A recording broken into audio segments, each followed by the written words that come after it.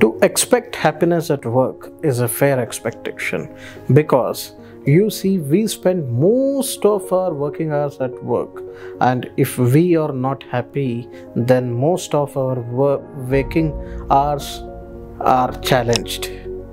Then we just try to survive it. Therefore, you must be careful in choosing a job or career for yourself. Your career must give you opportunities to thrive and not just survive.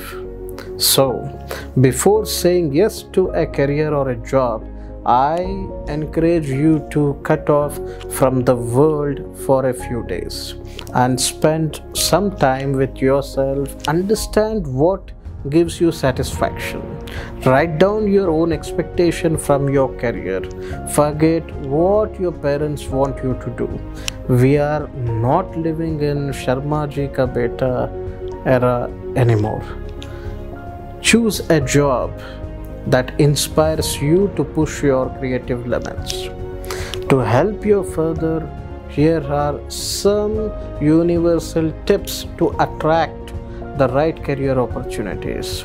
Offer water to sun god. Sun blesses us with warmth to impress people and zeal to do any task with enthusiasm. Secondly, pray to Lord Shani to remove any unwanted blockages. Do this ritual with 100% faith, and nothing can stop from getting the desired job or career which is right for you. Namaskar.